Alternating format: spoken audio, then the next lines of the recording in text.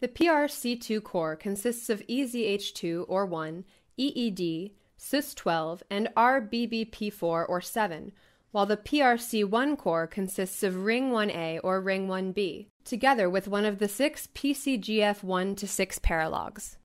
They can be stratified into canonical and non canonical PRC1.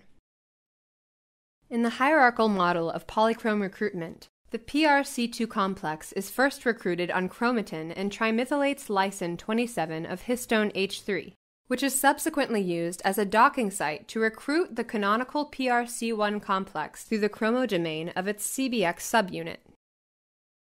The absence of CBX proteins with non canonical PRC1 implies the existence of alternative mechanisms, in which non-canonical PRC1 is first recruited on chromatin and ubiquitolates H2A on lysine 119.